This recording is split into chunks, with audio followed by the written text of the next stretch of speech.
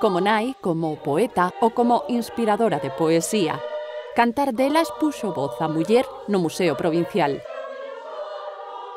O concerto foi incluído no programa organizado polo Concello de Lugo para conmemorar o Día da Muller cunha mensaxe clara. Romper con esa desigualdade que existe na sociedade, de que hai moito traballo feito, evidentemente, pero queda moitísimo traballo por facer e o que pretendemos conmemorar estes actos que se visualiza o Día da Muller que se conmemora o 8 de marzo, pero que realmente reivindicamos os 365 días do ano. O inicio da actuación a coral recibiu o vídeo Ópera e Zarzuela realizado polos alumnos da Fundación TIC. Para, para a Fundación TIC ten unha doble vertiente a dos profesionais que traballan na Fundación TIC, pero tamén a dos alumnos que se fan partícipes e polo tanto fan prácticas desenvolvendo eh, grabacións e participando neste tipo de DVDs.